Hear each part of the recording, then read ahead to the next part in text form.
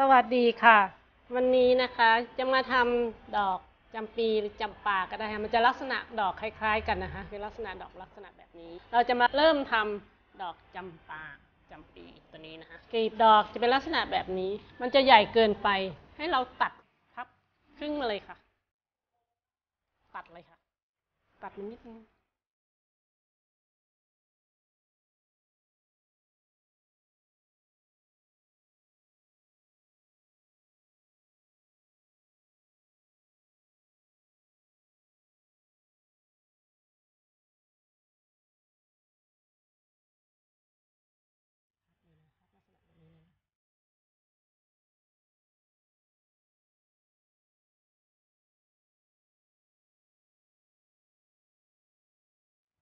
เลยนะฮะตัวนี้จะช้าหน่อยหนึ่งเพราะเขาไม่มีสำเร็จแต่เขามีกระดาษตัดมาให้เรา แต่มันไม่ได้รูปทรงของเขาเราก็มาตัดแต่งหน่อย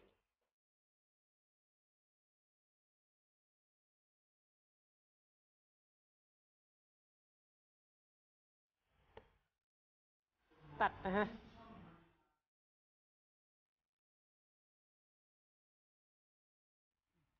จนเราได้ครบนะฮะแล้วครบกลีบ คราวนี้เราก็มาเข้า เราวางไว้นะเดี๋ยวเรามาเข้าเกสรก่อนนะคะลักษณะแบบนี้เกสรเสร็จแล้วเราพับ พับมันลงมานะฮะติดกาวนิดนึง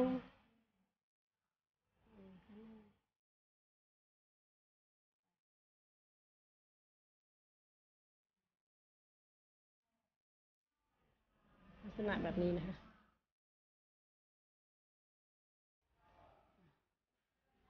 ใช้ไม้จิ้มกาวเลยนะฮะ แตะลงที่ปลายริมของกระดาษเลยนะฮะแล้วก็ม้วน ทากาวไปด้วยนะคะ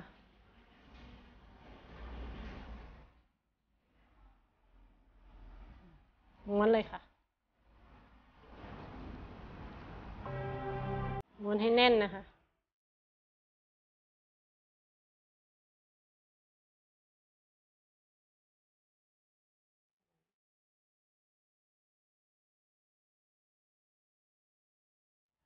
ษณะแบบนี้นะคะ จะได้เกสรเขา ให้เราดัดกลีบเข้าหาตัวเราเลยค่ะลักษณะนี้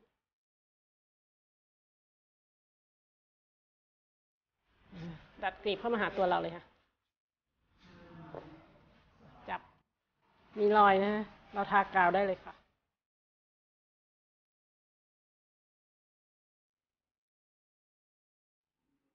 รวบเข้าหากัน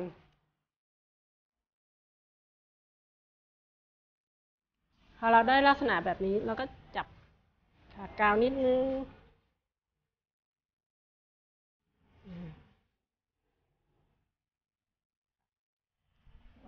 เสียบลงไปค่ะเขาจะมีรูเพราะเราจะเห็นมีรูอยู่นะฮะ เสียบลงไปเลยนะคะ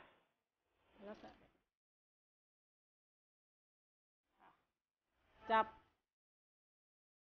แต่พอเราเทพันได้เลยค่ะ จะใช้สีขาวสีดำหรือกระดาษย่น สีขาวสีดำใช้ได้หมดนะคะ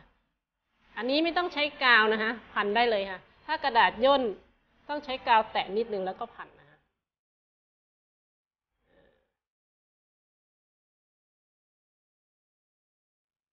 ดอกตัวนี้นะ ถ้าจะทางที่ดีทำให้สวยนะ ใช้ประมาณสามดอกแล้วเข้าทีหนึ่งดอกถึงจะสวยนะคะ ตัวนี้นะคะเสร็จแล้วนะคะในลักษณะนี้ เอาทั้งสามดอกมาเข้ากันเลยค่ะ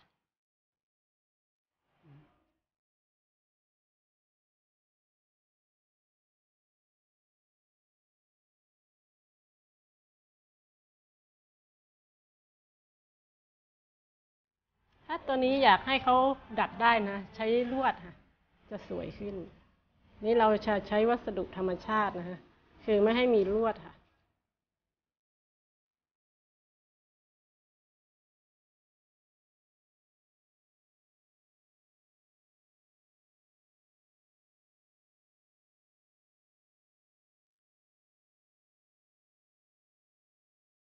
หันเลยนะฮะหันหันหนวดเลยค่ะ แต่งตัวนี้อีกทีหนึ่ง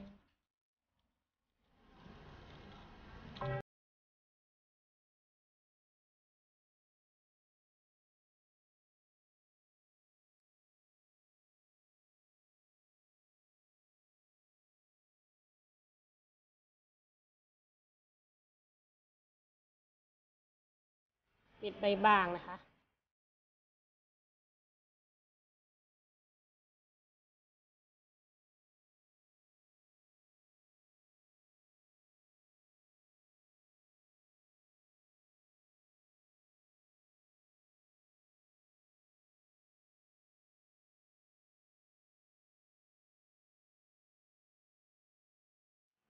ก็ใส่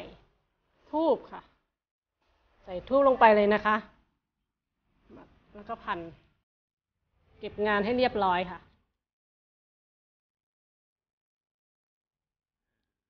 เป็นว่าเสร็จนะคะคือลักษณะดอก ก็จะได้ดอกจำปีหรือจำปาก็ได้ค่ะ ลักษณะดอกแบบ